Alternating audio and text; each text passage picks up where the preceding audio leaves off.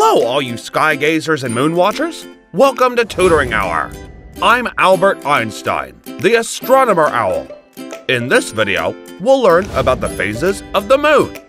The night sky is aglow with stars, but it is the changing shapes of the moon that fascinate me. Before I talk about the phases of the moon, I must tell you a few quick facts about the moon.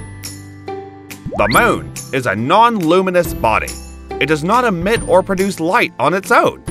The moonlight is actually the light of the sun reflected by the moon. The moon goes around the Earth just like the Earth goes around the sun, and it also spins on its axis. On its journey around the Earth, the sun lights up different parts of the moon, making the moon appear to change shapes. The part of the moon facing the sun is lit up, and the part that's away from the sun is dark. There are eight phases of the moon, each of which is named after how much of the moon is visible from the Earth. The first phase is the new moon. In this phase, the moon appears completely dark because the unlit side of the moon is facing the Earth.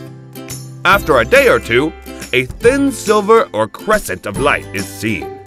This is the second phase, and we call it the waxing crescent. Waxing means growing, so the crescent moon appears to grow a little more each day until it reaches the third phase, when we see the first quarter or the half moon. This is followed by the fourth phase, the waxing gibbous.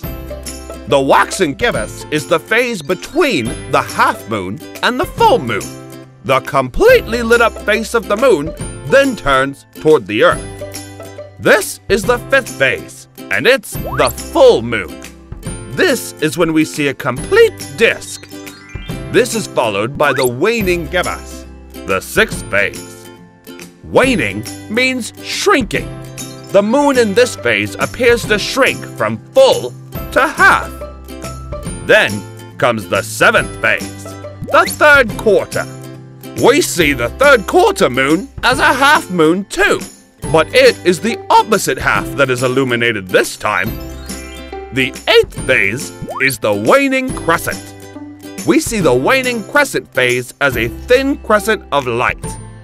Then, the moon disappears completely, and we have the new moon again. From Earth, we see the moon pass through eight phases. It first appears as a new moon, and then grows into a thin crescent before it snowballs into a half moon. The next phase is the full disk, followed by the shrinking phase when it becomes small until it appears like a thin crescent again, before finally vanishing for a few days. The growing and shrinking cycle of the moon is repeated every month and is called the lunar cycle.